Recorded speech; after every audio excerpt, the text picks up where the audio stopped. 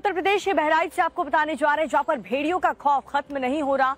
चार भेड़ी तो वन विभाग की टीम ने पकड़ लिए हैं लेकिन दो भेड़ियों ने अभी भी सुकून छीन रखा है। और देखिए वन विभाग ने ये तो दावा किया था कि वो शनिवार तक ही बाकी बचे दो भेड़ियों को पकड़ लेंगे लेकिन ये सब हो नहीं पाया। जिस तरह से ये भेड़िए वहाँ पर चकमा देते हुए फिर रहे हैं सारी कवायदें फेल नज़र आ रही हैं।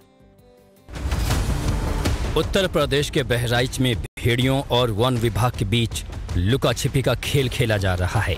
वन विभाग की तरफ़ से दी गई शनिवार की डेडलाइन के बावजूद भी बचे हुए दो भेड़ियों को पकड़ा नहीं जा सका, जिससे यहाँ के लोग अभी भी दहशत के साय में जीने को मजबूर हैं। क्योंकि 35 गाँव में खूनी खेल खेलने के बाद भेड़ियों ने अपने हमले का दायरा बढ़ा दिया है। अब 50 गाँव की अस्सी हज़ार आबादी इन आदमखोरों के हमले की जद में आ चुकी है। बाकी बचे दो भेड़ियों में से एक लंगड़ा है, जिसके ज़्यादा आक्रामक होने की बात कही जा रही है। इससे ग्रामीणों में दहशत बढ़ गई है। बताया ये भी जा रहा है कि खैरी घाट थाना क्षेत्र के मटोरा कला में एक भेड़िया देखा गया लेकिन ग्रामीणों के शोर मचा देने पर भेड़िया खेतों के रास्ते फरार हो गया। दो भेड़ियों को ट्रेस किया गया था। जाल भी लगाए गए थे हाका भी हुआ था लेकिन किसी कारण से निकल गए। वन विभाग की तरफ़ से कोई कमी है? अब वन विभाग तो ये तो वन्य जीव को पकड़ने की एक प्रक्रिया है। वन विभाग अपनी चालाकी दिखाता है भेड़िया अपनी चालाकी। दो दिन पहले वन विभाग ने एक आदमखोर भेड़िए को पकड़ा था। दो और भेड़ियों की मौजूदगी की बात सामने आई थी। मुख्य वन संरक्षक ने तो शनिवार तक बाकी बचे भेड़ियों को पकड़ लिए जाने का दावा किया था, लेकिन इन भेड़ियों को पकड़ा नहीं जा सका। बहुत ही सिंसियरिटी के साथ प्रयास किया जा रहा है।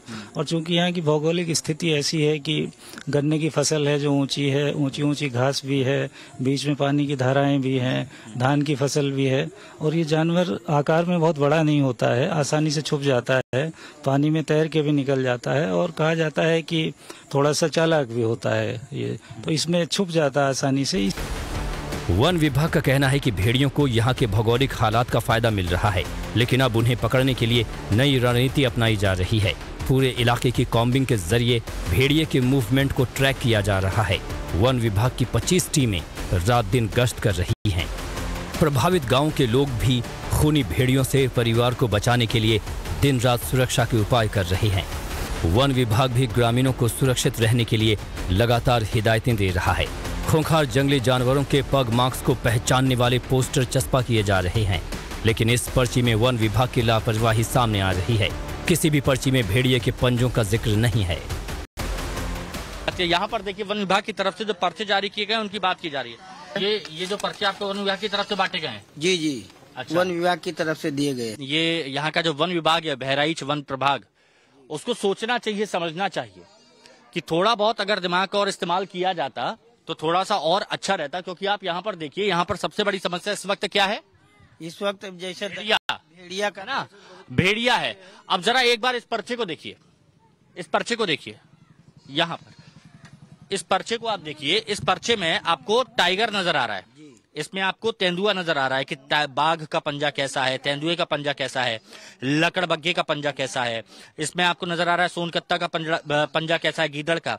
लेकिन जिसका पहचानना चाहिए उसी का गायब है। मतलब आप देखिए इसमें भेड़िए का होना चाहिए कि नहीं होना चाहिए? और भेड़िए का ही गायब है। भेड़िए का ही यहाँ पर गायब रखा है। जानकारों का कहना है कि हमले कर रहे भेड़ियों के ग्रुप में से जब तक ट्रैपिंग कैमरे से मुखिया की पहचान कर उसे पकड़ नहीं लिया जाता।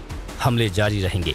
फ़िलहाल वन विभाग की बदली रणनीति के बाद उम्मीद की जा रही है कि अगले कुछ घंटों में फाइनल सर्च ऑपरेशन के साथ भेड़ियों की लुका छिपी बंद हो जाएगी।